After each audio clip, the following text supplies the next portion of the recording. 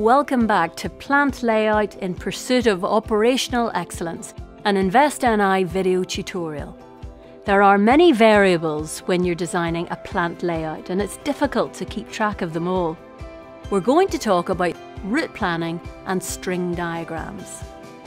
We've talked a lot about minimising the distances that your materials must travel as they move through your plant layout. A route planning chart, also known as a from to chart or a travel chart, is a good way to envision just how much travelling and material handling is involved in your processes. You can use them to measure the distance that materials travel, the weight of goods that move between stages, or the number of items that are transferred around the factory. This example shows the distance that goods travel between process stages. You'll notice that there are figures in the top right half, but not in the bottom left. This route planning chart reflects a one-way layout where goods do not travel backwards on the line. This route planning chart shows the weight of goods moved between manufacturing stages, quality control and the warehouse. This chart represents a two-way system where some goods travel back along the line.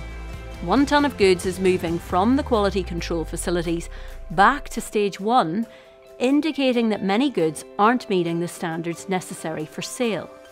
Route planning charts are useful in identifying these kinds of inefficiencies.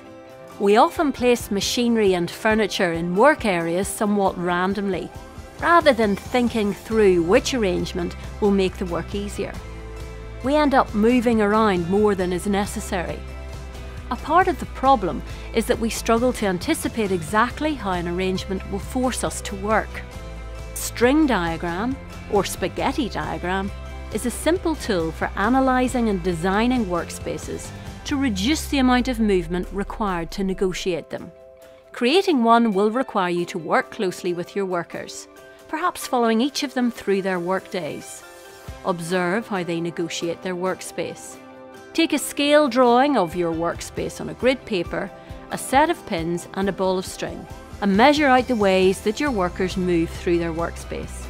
You'll be surprised by just how much time is used moving around obstacles caused by poor design. That concludes this chapter.